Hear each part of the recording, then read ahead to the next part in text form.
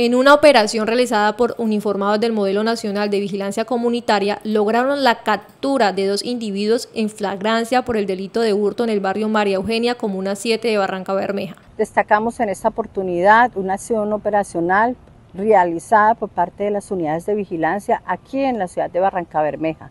Fueron capturados alias La Machito y el Flaco por hurto acá en la ciudad. Los sujetos, identificados como los alias La Machito y el Flaco, fueron capturados luego de emprender la huida en una motocicleta al despojar a una ciudadana en sus pertenencias e intimidándola con un arma de fuego tipo traumática. Es de destacar que esa es una acción producto del trabajo comprometido, dedicado responsable de parte de nuestras unidades de vigilancia que se percatan de un hecho de hurto acá en la ciudad, en el sector centro, céntrico, y se logra la captura en flagrancia de esta persona, alias la Machito y el Flaco, quienes tienen o están indiciados por homicidio y alias el Flaco por porte ilegal de armas de fuego. Ambos capturados cuentan con antecedentes por hurto y porte ilegal de armas, entre otros delitos. Durante la operación, la Policía Nacional recuperó varias de las pertenencias sustraídas. En esta acción operacional se logra la recuperación del elemento hurtado,